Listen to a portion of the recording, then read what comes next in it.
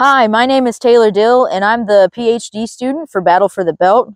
We're up here at the Northwest Agricultural Research Station in the corn plots. And it's August 17th, and we wanted to compare yield estimates for each of our location with the yield estimates for the rest of the state from Ohio Country Journal. And uh, different agronomists and researchers and extension specialists tend to do those yield estimates as well. So we're going to do our planting date one and three for yield estimates as planting date four and five uh, are still pollinating, so it won't be a very accurate yield estimate quite yet. We'd have to wait a couple more weeks for those. But first I'm going to show you how to do yield estimates. So the first step is to take um, 17 feet 5 inches of row. In our lab we use stand count poles, so we'll pull this out to be 17 feet 5 inches, which is 1 one thousandth of an acre, and we'll count the population for one row of corn.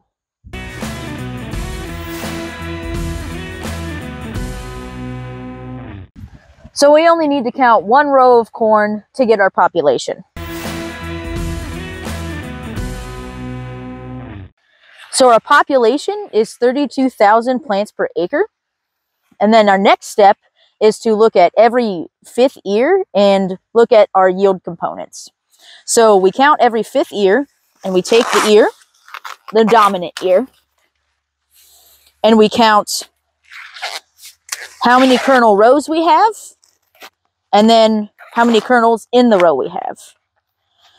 So I like to keep my thumb on one row so I can count around. So we have 14 around on this particular ear. And 33 kernels in a row. Now when you're counting the kernels in a row, you don't necessarily need to count the entire cob. When you have more jumbled kernels down here. We don't necessarily count the bottom. And as they get smaller at the top, we don't count the top. We count the even kernels here. And we'll do that um, six more times or five more times for this population. So we got our five more ears and we did our ear components. And we take each ear component and average it out. So we had an average of 14 kernel rows and an average of 33 kernels per row. And so to find how many bushels of, per acre that we estimate, we will multiply our population, which was 32, so how many plants that you counted. 32 multiplied by our average kernel row, which is 14, multiplied by our average kernel per row, which was 33. We multiply all of those together, and then we divide by what we call our fudge factor. The fudge factor is accounting for what our kernel size and weight is. And we can vary it based on how big our kernels are. In the other locations, I have used uh, 90 rather than 85. 85 is our normal average because uh, after this method was developed, our corn kernels got bigger uh, because of plant breeding. But sometimes the environment affects our kernel size. And if you have smaller kernels, we can account for that by using the fudge factor of 90 rather than the normal 85. At this location, our kernels are fairly big, so I would use the 85. I'm here at the Western Research Station doing yield estimates. We're looking at planting date 1 and planting date 3 at each location. Here at Western, planting date 1 was planted on April 13th, and planting date 3 was planted on May 11th. Now, like at other locations, we do see a yield estimate difference between planting date 1 and 3. Planting date 1 had an average of 14 kernel rows, so we had a slimmer ear. And planting date 3 had an average of 16 kernel rows, so we have a little bit girthier of an ear in planting date 3. The average yield estimate for planting date 1 is 152 bushels an acre, and planting date 3 is 175 bushels an acre. Some of that yield discrepancy could be because in planting date 1, we've been seeing more of these smaller ears. We'll do abnormal ear measurements at the end of the season, so we'll have more information about how many of these we have. But I have been seeing more of these than in other planting dates. So this could be the reason why we might have a lower yield in planting date one. We're out here at the Wooster location doing yield estimates.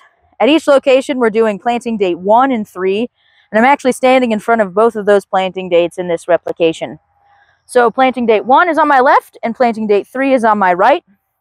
We planted on April 14th for planting date one at this location and May 11th for planting date three.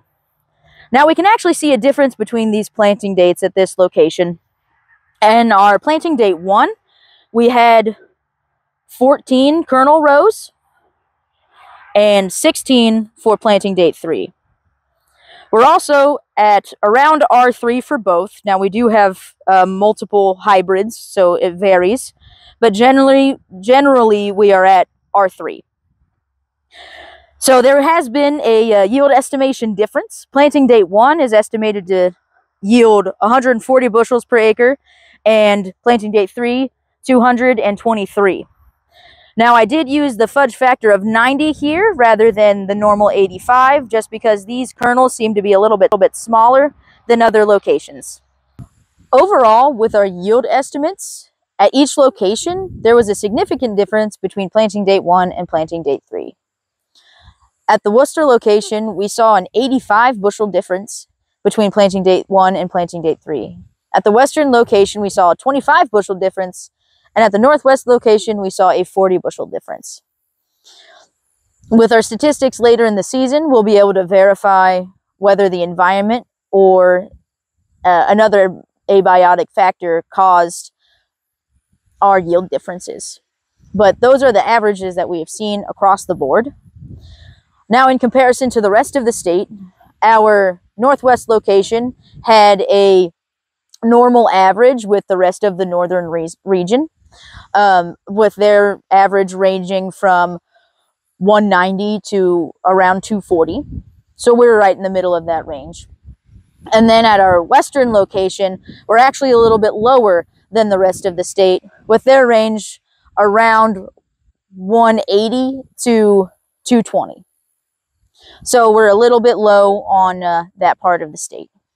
So we'll see what the rest of the season brings us and if our yield estimates match up with what our actual yield uh, when the combine runs through uh, is. So good luck with the rest of the season.